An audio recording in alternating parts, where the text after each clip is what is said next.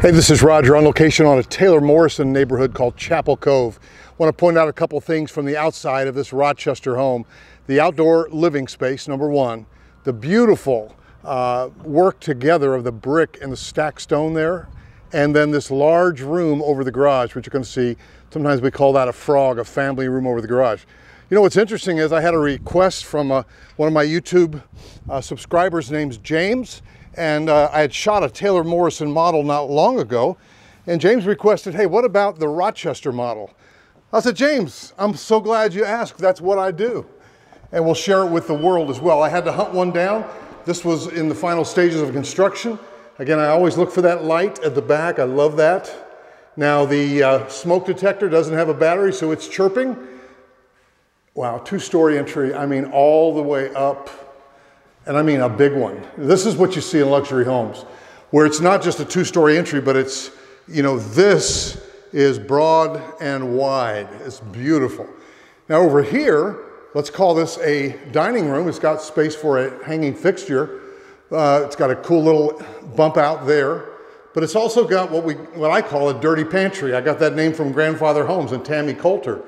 So let's say you're having dining room dinner and instead of you taking all of the plates into the kitchen and loading them up, you just throw them right there off of the dining room table and deal with it later. That way, when everyone congregates around the island or in the great room, that you don't have to be troubled with that. Now see, this is really cool right here. I mean, you can push a pause if you want to on this one. This is basically an island with a table on it. I mean, there's your breakfast room table, y'all. Beautiful large island. This particular one has these lovely antiqued cabinets, five burner stove. If you haven't bought a house for a while, uh, I don't know if you probably haven't been researching stoves, but we just uh, uh, got a new one and you have a basically a turbo burner to get stuff hot fast. And then you have a simmer burner, which I used just today on some soup that I made last night, reheating it up. Now I love this kitchen. And you see how it opens up wide. Now they're going to call that the breakfast room, but I already showed you what I think is a dining room. You could use that for anything. Wide open bank of windows in the great room. And of course, a lovely stacked stone fireplace with mantle and niches for, uh, you know, cabinets or furniture. So this is what the Rochester looks like. Very nice. And there's some other things I discovered, which when we go upstairs, that I think make this thing pretty magnanimous. You know, things like that. A little bump out there, place for a piece of furniture, you know, a hutch, a bookcase, whatever. And the covered uh, porch that I showed you at the beginning of the video from outside is right here.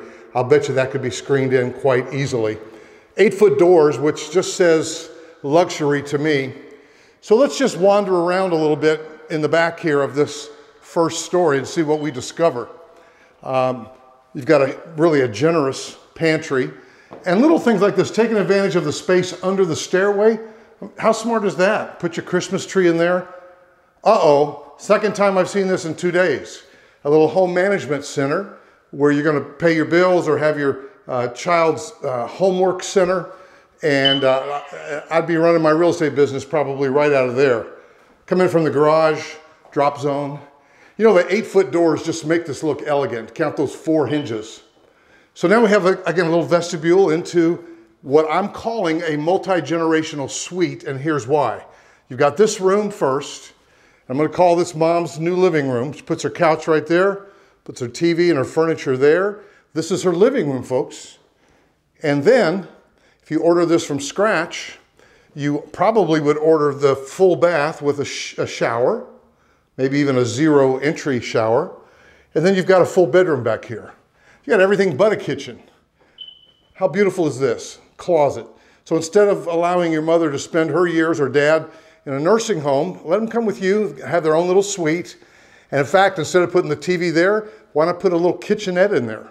Let them have a microwave and a sink and all that. I love this house. This particular one is for sale just under 500,000, and that seems like a tremendous value to me. You know, there's something so special about all the multi-generational and aging in place that we're hearing about. In other words, you can spend a lot of money fast by putting someone in a nursing home And uh, just think, especially if you've got children and, and that's your grand, their grandmother or grandfather, think about the beauty and really the financial sense it makes to have them live it out with you. I mean, if this house at 500,000 is a bit too salty for you, but your mother or dad could kick in half, how beautiful would that be? I love this now. Let's go into this room. This is a full bedroom, but it's got a full bath right next to it. So that's convenient. You got this area where, with an outlet there, where you could put a desk. Again, a good homework spot. We'll go down there in just a second. First, I want to show you these other bedrooms. Got a bedroom here that enters into this. Two sink, Jack and Jill. Great for the kids. That bedroom is the front one. I'm having trouble keeping up with the bedroom count, y'all. This house has got a bunch of them.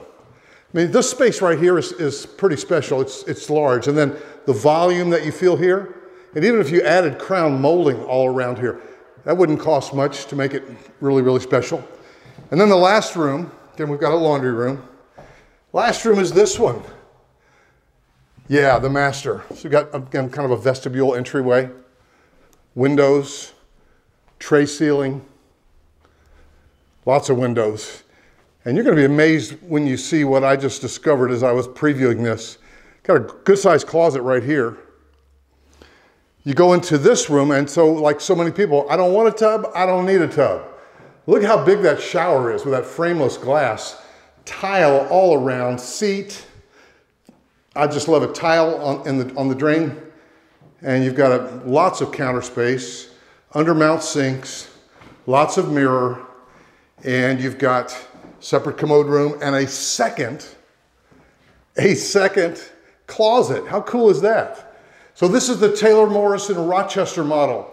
Can be built in several neighborhoods. So give me a call at 704 345 3400. Let me help you with your purchase. I've met so many people. In fact, just recently, the last couple of weeks, I've met uh, two folks in model homes that had bought without me, but they recognized me when they saw me because they've been watching my videos.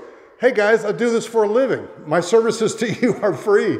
I'm a buyer's agent. I can certainly help you list your house in the Charlotte area, Hey, as a buyer's agent, let me earn your business and help you with your transaction. I'm free to you, and I do answer my phone. So if you're buying a new home, don't do it alone. Pick up the phone 704 345 3400. Here's that huge bonus room, and I bet we could put a door on it if you want. Taylor Morrison's Rochester model. I can't wait to talk to you soon. The number's on the right of the screen at the bottom. Let's talk.